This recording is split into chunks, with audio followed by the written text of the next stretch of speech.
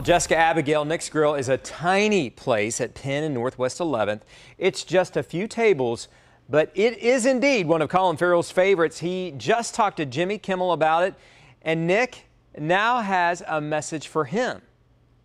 When Colin Farrell appeared on Jimmy Kimmel this week, he was quick to answer this question. What's the best hamburger you ever had? Uh, there's a place called Nick's in uh, Nick's Grill in I think it was was it Kansas? No, it was Oklahoma.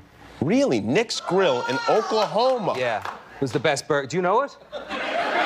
We know it. In fact, in February, I told you about Nick's Grill. The building is small, but the burgers are big, and Nick loves seeing it this week. freaking awesome. It was one of the. I mean, who would have who would have thought that? Colin has talked about Nick's before on national TV. It is not surprising he loves it. When you go in, there are just three people working there, and Nick is the greeter, order taker, cook, and server.